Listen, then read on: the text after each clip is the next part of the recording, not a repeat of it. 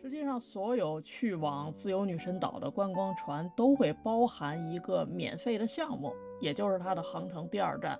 船呢会停靠在爱丽丝移民岛，岛上可以参观的唯一的建筑，实际上就是这个曾经的登机大厅了。现在呢，把它给翻修成了这个移民博物馆。爱丽丝岛啊，之所以叫移民岛，是因为在一八九二年的时候，全世界所有想要移民来美国的人都必须先坐着船停靠在附近的海域，然后坐小船陆续的登陆这个岛来进行身份登记。美国东西海岸呢，一共有这么两个岛都是做这样用的，在东海岸的登记点，哎，就是这个爱丽丝岛了。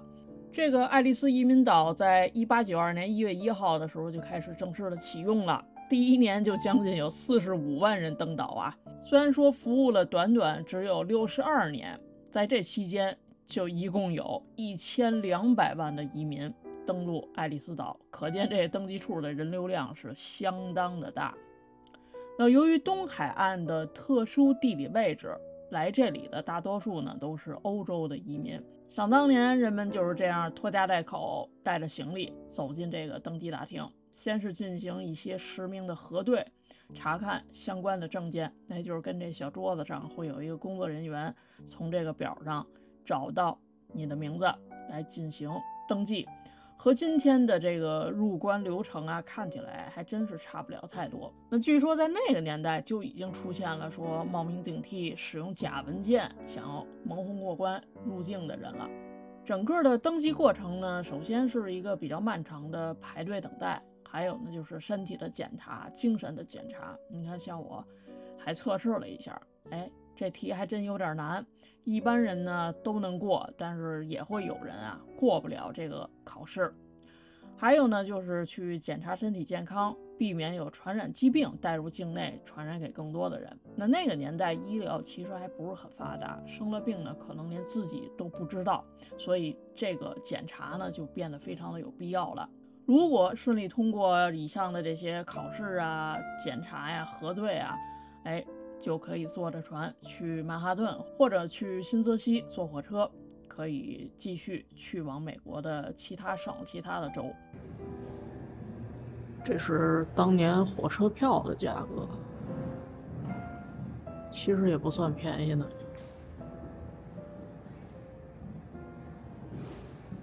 是从意大利开过来，这意大利罗马六十八块五。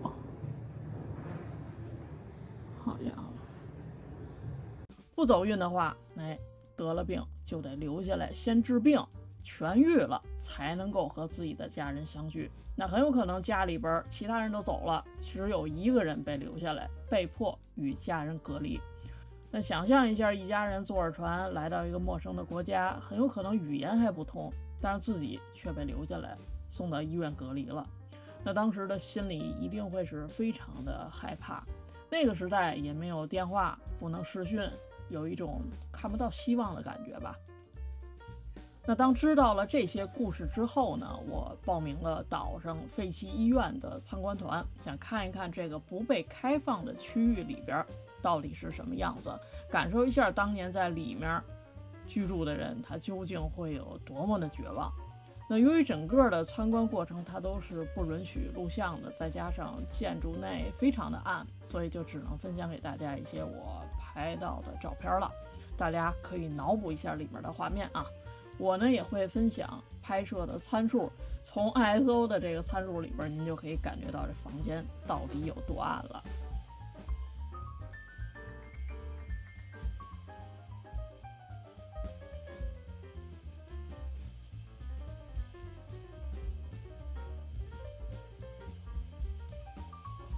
这些建筑其实看上去挺诡异的哈。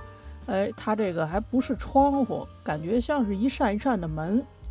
经过这个研究呢，发现这个啊，还真就是这个每个医院的这个房间。他把这个窗户设计成这样，是为了做通风用的。所以他就是需要通风的时候，他就把整扇门打开了。但是平时呢，基本上就是病人只能通过这样的一个小窗户看到外边，为了防止传染病感染嘛。毕竟在这儿关着的病人基本上都是有传染性疾病的，或者是有精神类疾病的。这是整个医院其中一个不是病房的房间，大家可以猜一下这个东西是个什么？我看了半天，还真没猜出来。嘿，对了，它就是一个洗衣机。那个年代，滚筒洗衣机就长这样，并且还是一个很工业化的。它这个很大，主要是用来洗这个医院里边的一些床单啊、病服之类的。看另外这一台就很清楚了，是吧？这个应该可能是个烘干机。那如果那个是洗衣机的话，我认为这个应该是个烘干机。在这个建筑里边，很多设施看上去都很诡异，比如说这个，一开始我以为这是个焚烧炉。但事实上呢，它还真是个焚烧炉，但它不是用来烧人的，是用来烧床垫的。因为在这个医院里边，您想，它都是传染疾病的患者呀。这走了一个患者，下一个患者来之前，这床垫恐怕就没法要了。这个不让传染病蔓延，他就把这个床垫放在这里边给它烧了。这个木质的储物空间很有意思。从外表看呢，没什么特别的，就像是个柜橱似的。但是如果您仔细看它这个门，非常的厚，哎，是不是有点像咱们今天的冰箱？嘿嘿，没错，这就是一八九几年的冰箱了。那个年代，这个食物是很难保存的。您看这个医院的规模，这得有多少人呀？那么对于病人养病来说，食物必须要保持新鲜了。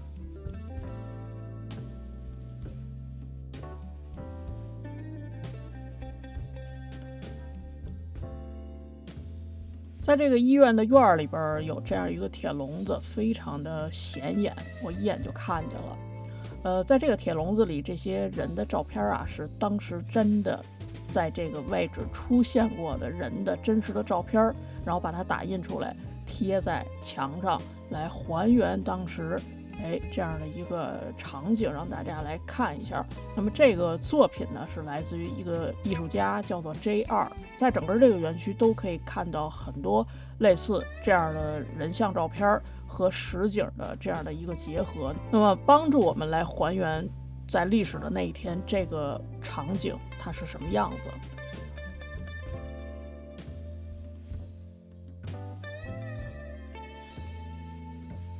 进到这个废弃医院来参观，给我印象最深的就是感觉到它非常的压抑。你可以看这小房间一个个的都不大，然后窗户呢也都封得死死的，从外边看不见里边，里边好像也没有太多的阳光。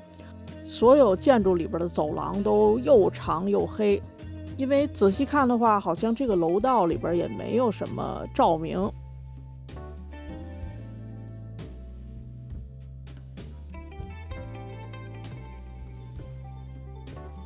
可想而知，病人，甚至于在这儿工作的医生或者是护士吧，我都觉得还真蛮压抑的，而且也不知道自己哪天能出去。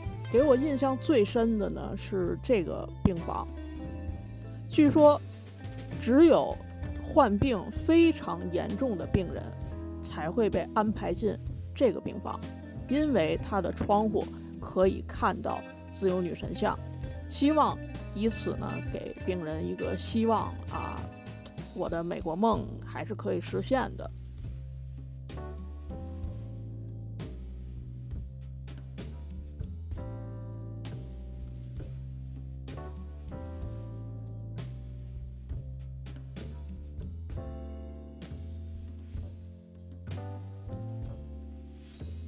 如果没有人的居住，如果没有维护的话，这些建筑就会逐渐的破败。可以看到这些房间的房顶、地板，很多玻璃都已经慢慢的开始腐化，自己就风化掉了，或者是就碎掉了。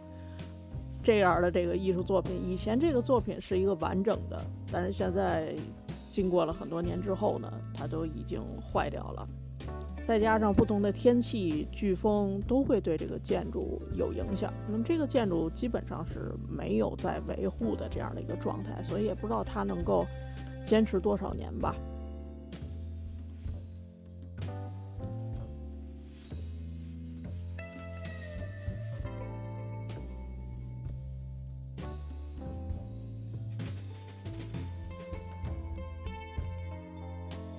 以上就是这一次我在爱丽丝岛的这个废弃医院所拍到的一些照片，分享给大家，呃，让大家看一看这里边是什么样子。因为这门票确实还挺贵的，如果您觉得就就这么回事儿，那就索性看我这个视频，就省得花七十五美金再去买买票看了，对不对？得嘞，祝大家都能够身体健康吧，有啥别有病，开心就好。感谢收看本期视频。如果你也喜欢旅行和摄影，欢迎关注我的频道，别忘了点赞和关注哦。我会感受到来自小宇宙另一边的你，我们一起玩摄影吧。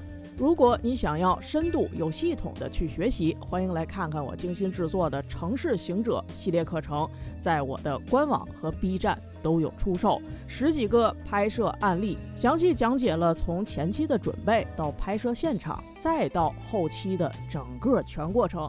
这不仅仅是对基础知识的深度讲解，更是分享我在多年来总结的经验和习惯哦。我们下期的视频再见啦！